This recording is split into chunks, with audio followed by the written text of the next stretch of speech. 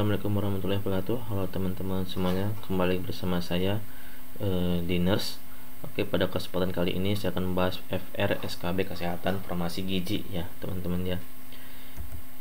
Bisa klik like, share, komen, and subscribe Agar saya terus bersemangat untuk Mengupload video-video lainnya. Dan kita sama-sama berdoa semoga kita semua lulus di tahun ini ya CPNS ya karena formasi gizi ini lumayan banyak eh, kita langsung saja. Oke yang pertama itu salah satu nawacita presiden Jokowi ya. Jadi ada sembilan nawacita pertama berhubungan dengan nomor dua ya cara mencapai nawacita pada nomor satu. Berarti menolak negara lemah dengan melakukan reformasi sistem dan penegakan hukum yang bebas korupsi bermartabat dan terpercaya. Terus nomor 3 SDGs ke-6. Nah, SDGs ke-6 itu kalau nggak salah sanitasi ya. Kalau nggak salah sih sanitasi. Terus undang-undang PJS. Biasanya eh, kalau nggak salah sih nomor 40 ya. Tahun 2004. Terus program promotif program promotif dan preventif ya. Preventif PJS jadi kalau promotif itu kan kegiatan atau serangkaian kegiatan pelayanan kesehatan yang lebih mengutamakan kegiatan bersifat promosi. Kalau preventif kegiatan pencegahan terhadap suatu masalah kesehatan atau penyakit ini program ya teman-teman ya. Terus SJSN SJSN SJSN itu sistem jaminan sosial nasional. Kalau tujuh undang-undang kesehatan tentang sebagai nakes harus menolak jika menerima gratifikasi. Ada pada pasal berapa? Terus aborsi diperbolehkan oleh Menkes ada pada Undang-Undang Kesehatan pasal berapa? Di Undang-Undang aborsi ya. Aborsi. Pasal 7 5 ayat 1 Undang-Undang nomor 36 tahun 2019 tentang kesehatan Terus aborsi diperbolehkan oleh Menkes ada pada oh udah ini. Diet diet kali ya. Diet kalori 1800 kal berapa kebutuhan KH-nya. Oh. Menghitung IMT bisa langsung dipikirkan tanpa menghitung. Nah, bisa nih teman-teman nih. Kalau rumus IMT ya.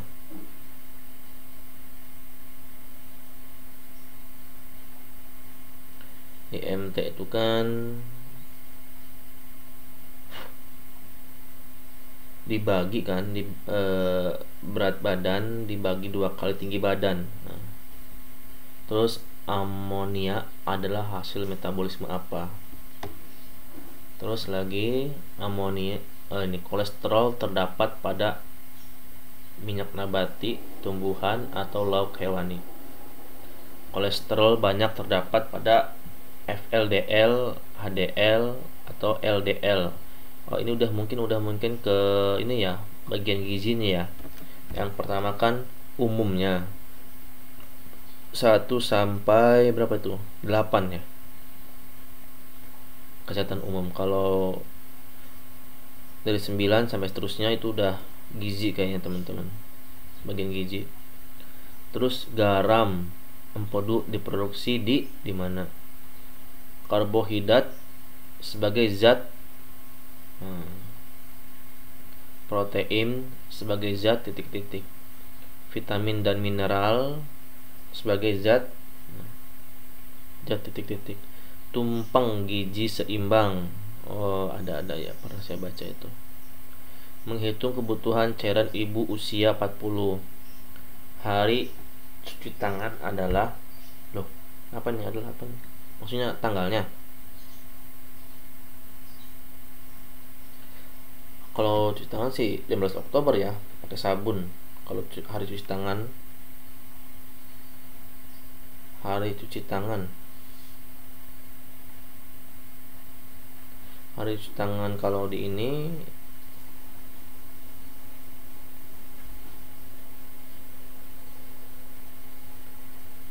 Oktober juga ya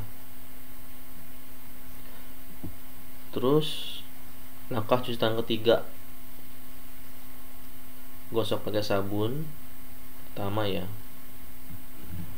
Terus tangan apa gosok tangan bagian dalam gosok tangan bagian luar. Pesan yang disampaikan pada Hari Kesehatan Nasional.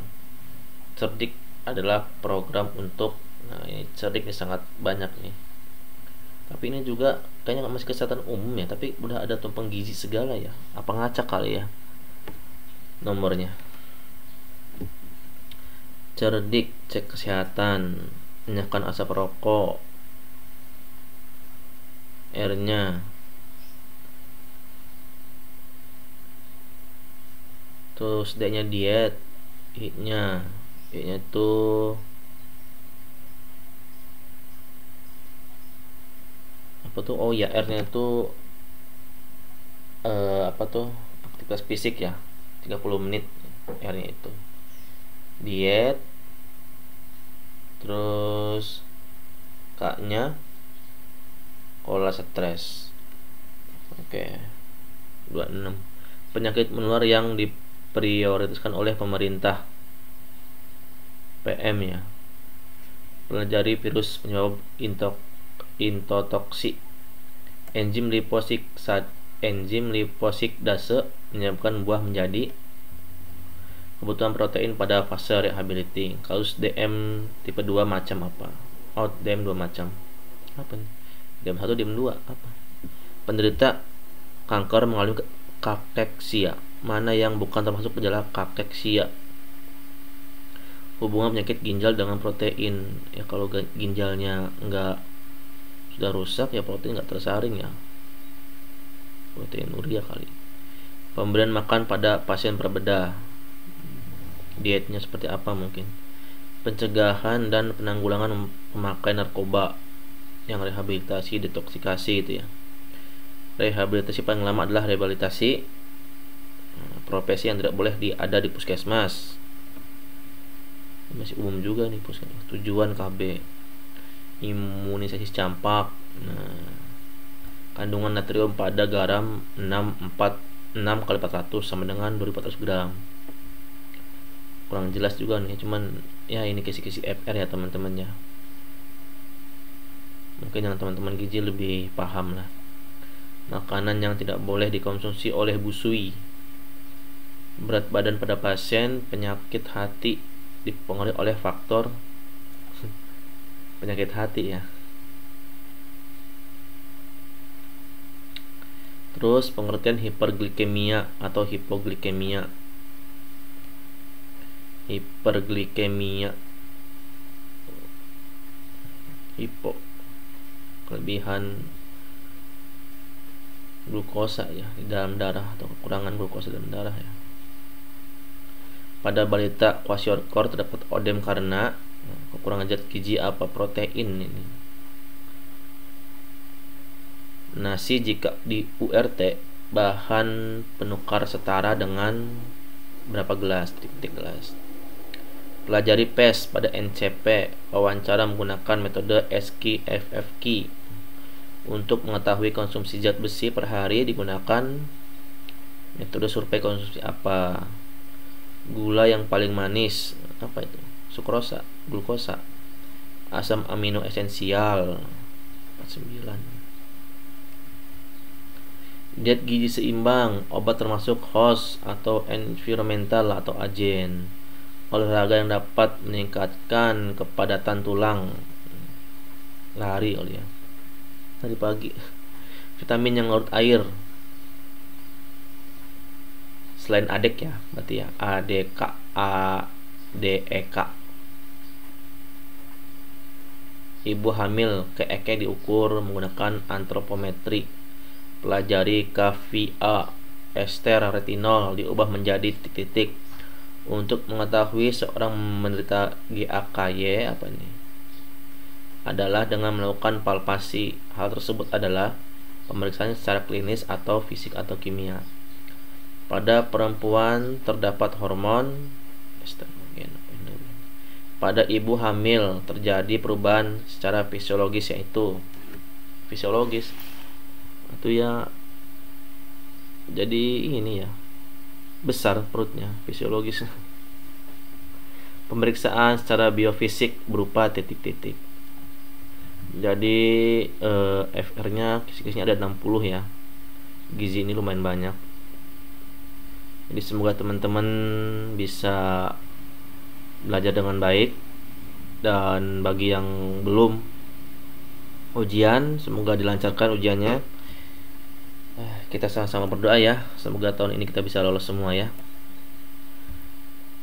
Terus pemeriksaan udah nih. Ibu bekerja di kebun teh dapat mengakibatkan kekurangan mikro mineral apa?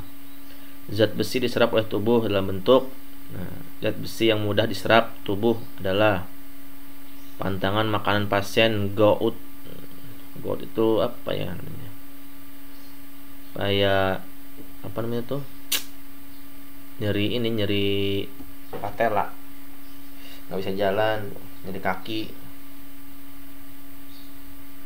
Peradangan sendi gout itu. Pada pasien luka bakar dianjurkan makan makanan berikut ini kecuali titik-titik. Pelayanan rujukan primer atau sekunder atau tersier ini FKTP ini terus terciptanya kecamatan yang sehat adalah tujuan dari puskesmas atau dinkes atau kemenkes atau puskesmas lah kecamatan puskesmas masih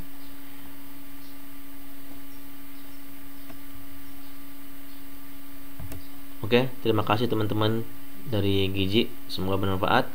Jangan lupa share, komen, dan subscribe ya terus kita sama-sama berdoa. Semoga saya dan teman-teman bisa lulus tahun ini ya. Terima kasih. Assalamualaikum warahmatullahi wabarakatuh